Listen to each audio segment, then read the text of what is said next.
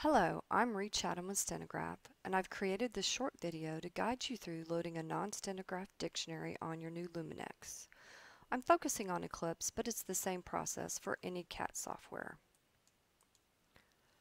First, go into your CAT software and export your dictionary to RTF file format.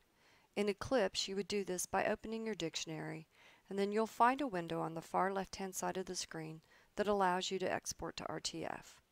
I recommend you save this to your desktop so that it's easy to find. Next, you need to go to our website at www.stenograph.com. Select Downloads, then select Utilities and Drivers. Scroll down the Utilities and Drivers page until you see the Luminex RTF to Writer utility. Click on the link to start downloading the folder.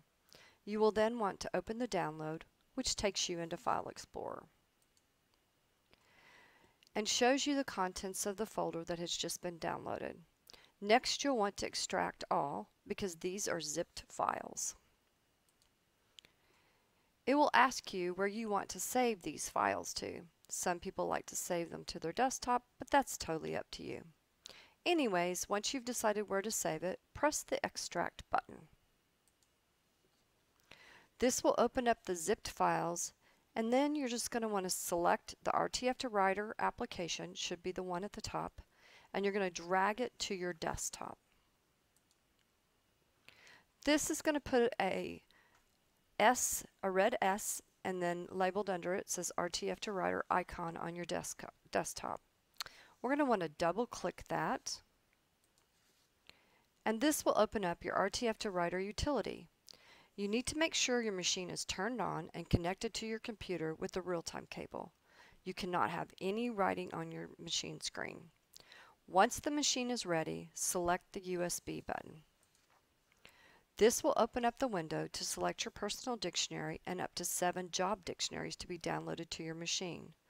To download a job dictionary, you would export it to RTF just like you did your personal dictionary.